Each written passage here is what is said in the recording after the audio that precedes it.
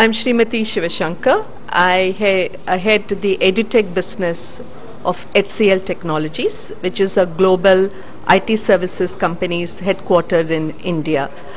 Uh, the pers- purpose of this EduTech summit um, in Ghana is basically to bring to the forefront how technology can be a great means for helping enterprises, educational institutions, and individual learners to get ready for future skills. The World Economic Forum says that more than 1 billion jobs are going to be touched by technology, which means it is important for everyone to invest now and not later to get technology learning done. Um, you don't need to be a core techie to learn technology. You need to understand how to adopt technology for your everyday jobs today and for tomorrow. So I think it's very important at this point in time for every person in the world, especially in emerging markets like Ghana, to invest in technology education. Excellent. Um, let us just look at the term technology knows no gender. Job careers has no gender. So gender has become very context sensitive from the adoption perspective.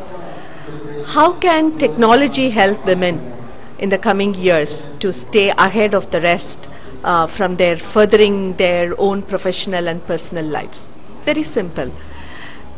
In the coming years, there can only be two sets of people in the world those who have digital know how and those who do not know the digital way of doing jobs.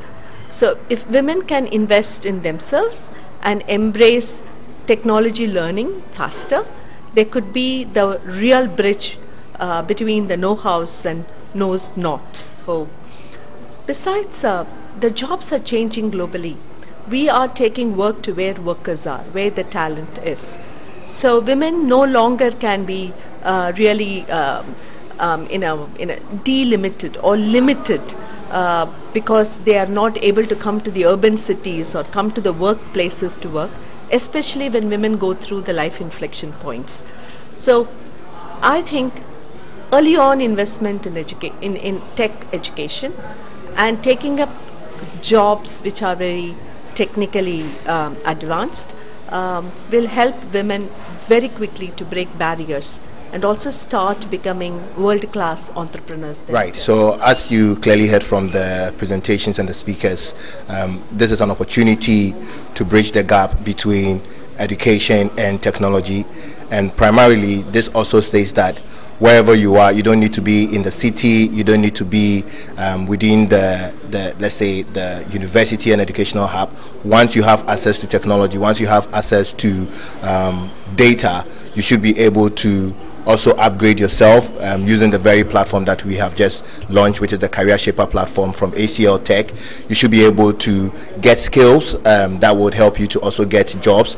Like you said, um, there's so many remote digital jobs that is currently available, and you don't need to be in a particular area or some specific area to be able to attract these jobs. Once you get skilled up through our platform, which is the Career Shaper, it stands a chance of getting employment with the many digital opportunities that there is across the globe. Well, basically, this is an opportunity for Ghanaians, this is an opportunity for Africa um, that we get to scale up, we get to assess ourselves with the gaps that we have, an opportunity for us to get involved in the technology transforming world and also attract the various opportunities that there is in the job market and I mean improve the unemployment rate that we have, which is particularly hitting our part of the, the world. And this is an opportunity for everybody to get involved. EduTech platform, or let's say the HCL Tech platform, which is the Career Shaper platform, is an opportunity for all. It's not age restricted. It is not um, gender restricted. It has an ability for you to scale up your gap in cybersecurity, data analytics, um, um, the emerging technology market trends. So you get to actually learn something new that you haven't learned before. Um, be it a student, be it corporate, be it a university, academia. Uh, it's an opportunity for you to enhance, or let's say to evolve alongside the technology and it has numerous opportunities courses models that we believe that people can take up and then also enhance their ability to tap into the world market of digital jobs. About AI, we've heard a lot about Gen AI. These are all opportunities that help to bridge the gap between the disability and the abilities of many that technology is for all, one. And so you don't need to be in a particular field of um, um, engagement, once you are able to tap into technology, Career Shaper helps you to be able to upgrade yourself and skill up for the new. Inside our educational and employment policies, and then also we can create a more agile workforce that can adapt to rapidly changing job markets. And lastly, attract foreign investment, as you can see HCL Tech coming to Ghana, by showcasing our commitment to developing a skilled workforce.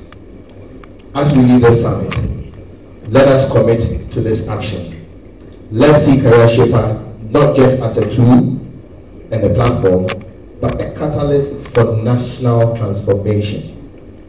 To our corporate partners, let's embrace this tool to build our workforce for the future. And to the government agencies that are here, let's use this as a cornerstone in our strategic ways to combat unemployment. Together, through this platform like Career Shaper, we can create a Ghana where every citizen has an opportunity to develop the skills needed to thrive in this digital age.